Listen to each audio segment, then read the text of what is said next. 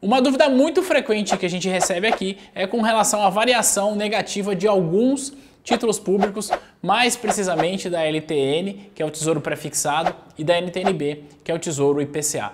Por que, que esses títulos, ao longo do seu período de maturação, eles apresentam para o investidor uma rentabilidade negativa?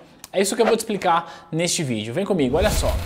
Vou falar especificamente de uma LTN, que é o tesouro prefixado, porque o raciocínio para a construção do preço é relativamente simples, tá bom?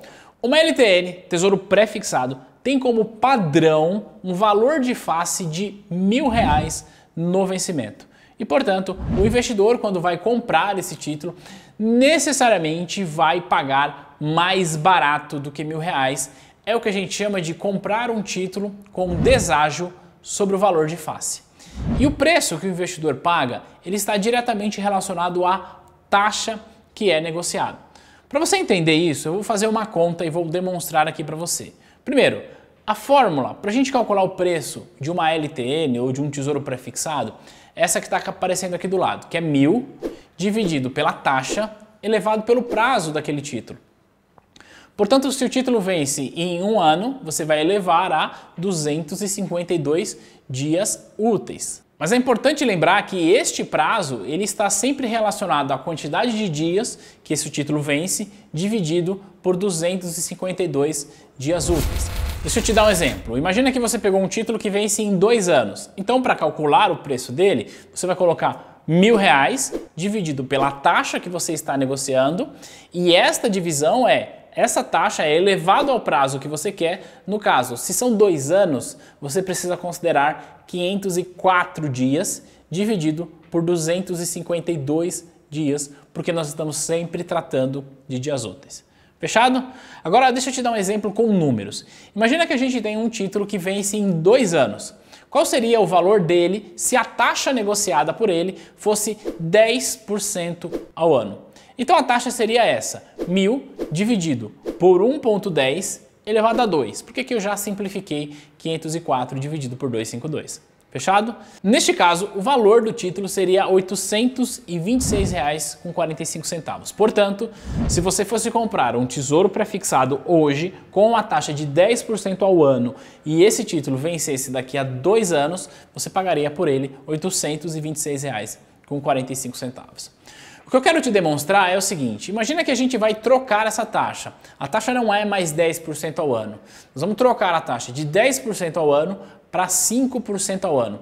Neste caso, se a gente troca a taxa, a gente vai perceber que o valor do título não é mais 826. Neste caso, o valor do título é R$ 907,03 centavos. Mas eu quero ir além, a gente vai mudar a taxa de 5% para uma taxa de 20% ao ano. Então, se eu tiro a taxa de 5% e coloco uma taxa de 20% ao ano, o valor desse título não é mais 907. O valor desse título ele passa a ser R$ 694 reais com 44 centavos. O que eu estou querendo demonstrar para você com esses números é o seguinte: se a taxa de juros que você está negociando ela cai, o preço do seu título sobe. Se a taxa de juros sobe, o preço do seu título cai. Foi o que aconteceu quando a gente saiu de uma taxa de 10% para uma taxa de 5%. No nosso exemplo, a taxa caiu, o preço subiu. Depois a gente saiu de uma taxa de 5% para uma taxa de 20%. O que aconteceu? A taxa subiu, o preço caiu.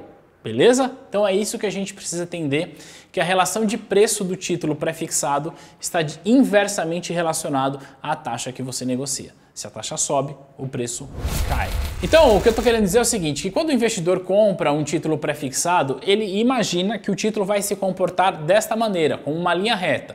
Vou pagar 826, vou receber mil reais lá na frente, e o que o investidor imagina é que ele cresce numa linha reta.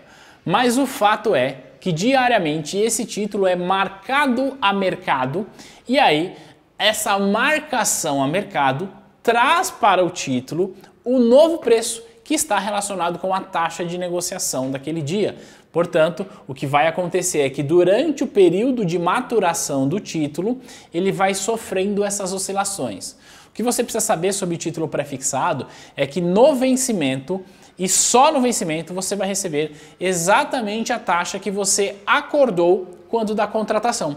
Portanto, se você comprou um título com taxa de 13, de 10, de 8, seja lá de quanto for, você vai receber essa taxa no vencimento. Se você resolve sair antes, você necessariamente vai receber valor de mercado. Portanto, se a taxa subiu desde a sua contratação, você vai receber menos porque o preço caiu. Se a taxa caiu desde a sua contratação, você receberá mais, porque neste caso o preço subiu. Para esse raciocínio ficar mais claro, eu vou compartilhar com você agora a tela do meu computador e vou mostrar direto do site do Tesouro uma simulação que ele traz com o histórico de taxa versus preço para você entender o quanto isso impacta na precificação do seu ativo. Vamos lá para o meu computador. Então a gente vem aqui ó, no site do tesourodireto.com.br, você pode vir aqui em títulos, preços e taxas. E aí tem aqui os títulos que estão sendo negociados, mas não é isso que eu quero demonstrar para você, eu quero demonstrar isso aqui, ó, histórico de preços e taxas. Clicando em saiba mais, a gente vem aqui, eu vou escolher um Tesouro Prefixado 2026, que é o mais longo. E aí eu vou escolher aqui, ó, o histórico de taxa. Olha que interessante, olha só. Então, no começo de 2020, ele vinha sendo negociado a uma taxa de 6,34% ao ano, 6,24%, depois caiu um pouco mais, foi para 6,06%. E aí, quando a gente começou a ter o agravamento da crise aí por conta do coronavírus, a gente percebe que a taxa começou a subir. No dia 12 de março, a taxa negociada é de 12 ponto, era de 8,52, a taxa caiu. Ela chegou, inclusive, no dia 23 de março, a ser negociada uma taxa de 9% ao ano. Tá? E uma coisa interessante é que se a gente clicar aqui, aqui a gente está vendo a simulação por taxa. Mas se a gente clicar aqui nesse botão onde está escrito preço, ele vai trazer para a gente na tela o preço que o título chegou a ser negociado. E que eu quero é, chamar sua atenção para isso é que quando a gente clicar em preço, você vai perceber um gráfico exatamente inverso a esse, como se um gráfico encaixasse no outro. Eu vou clicar em preço e olha o que, que acontece. Então, ó, quando a taxa estava navegando ali perto do 6, ele estava sendo negociado perto desse preço, de 700, 695. Quando a taxa caiu, ele foi para 622. Quando a taxa bateu a máxima de 9%, então esse título foi para 608, tá? Então, se a gente olhar um, um gráfico contra o outro, a gente vai perceber que o gráfico de taxa, ele meio que espelha aí o gráfico de preço, né? Então, o que eu queria demonstrar para você nesse vídeo é a taxa de juros, ela sobe e aí por isso o preço cai. Fechado? Agora, olha que interessante. Uma das coisas que eu vi no computador e que você viu comigo é que em um dado dia o tesouro prefixado estava sendo negociado com uma taxa de 9% ao ano.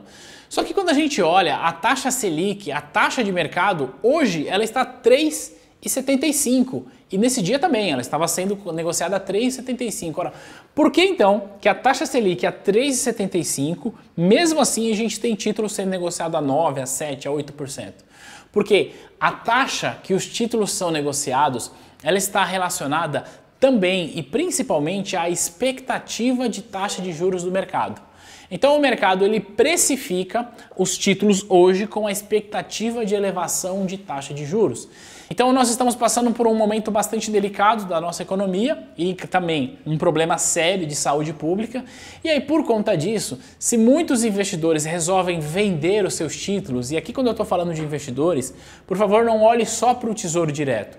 Olhe para a indústria de fundos de investimentos, por exemplo, porque a maior parte dos fundos de investimentos estão posicionados em títulos públicos. Então, se o investidor resgata suas cotas de fundos de investimento e o gestor do fundo precisa vender os títulos para fazer frente a esse resgate, necessariamente existe uma pressão vendedora desses títulos junto ao Tesouro, junto à Secretaria do Tesouro Nacional e, portanto, se existe uma pressão vendedora, o preço desse título cai e a taxa sobe. E aí, o que na prática acontece é que se você comprou um título com taxa de 5, de 6% ao ano, agora, neste momento, o seu título está com uma variação negativa. Portanto, você resgataria menos do que você é, aplicou caso você resgate a sua grana. Mas eu quero te dar uma tranquilidade. Se você manter o seu título até o vencimento, necessariamente você vai receber exatamente a taxa que você contratou, sem nenhuma surpresa. Beleza?